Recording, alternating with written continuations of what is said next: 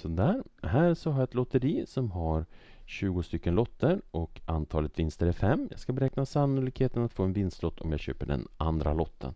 Och här är det så här att det här spelet beror lite grann på om jag vet vilket resultat den här äh, första lottköparen fick, alltså den som köpte första lotten, hade då. Och om jag inte vet resultatet, då är sannolikheten oförändrad. Då är sannolikheten eh, fortfarande lika stor som det var när jag köpte första lotten.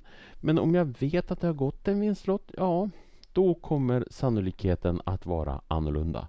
Men i det här fallet så finns det ingenting som säger att jag vet eh, de tidigare lottköparnas resultat, om de fick vinst eller nit. Vi kan ju tänka oss att man har 20 lotter och så sen så redovisar man vinsten på slutet, vem som vinner då. Eller vilka som vinner i det här fallet då.